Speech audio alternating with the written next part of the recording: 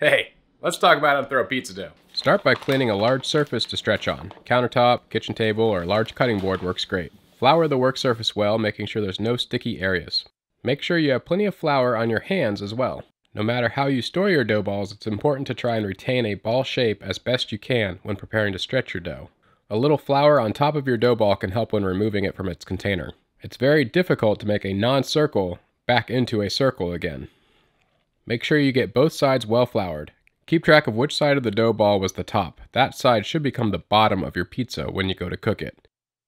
Once the dough ball is well floured, mark the area that will become your crust. You want this to be about a half inch from the outer rim of the dough ball. Everything inside of that marked point needs to be degassed. Press firmly with your palm all around the inside of the pizza until all the gas has been pressed out. Avoid the crust area or you will have a flat crust. Pick up your dough and wipe your hand around the table to make sure that no sticky areas have developed. Now place the palm of one hand down and hold the dough while you stretch clockwise with the other hand. Release the dough and rotate until you work your way around the entire dough ball. You'll continue this method until it's about 50 to 75% fully stretched. Again, stretching inside of the crust line mark. Pick up your dough and throw it between both hands to get as much flour off as possible.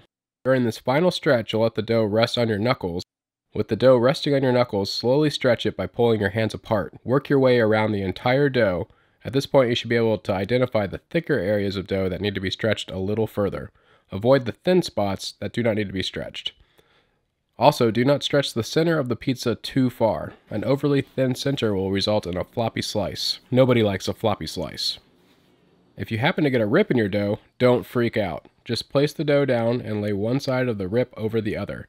Add a little extra flour on top and under the dough. Gently press the dough flaps into each other, and you're good to go, like it never happened. Once your dough is stretched, place onto the peel of your choice with some semolina or cornmeal. Now you're ready to top and launch your pizza. Here's the whole dough stretching process in real time.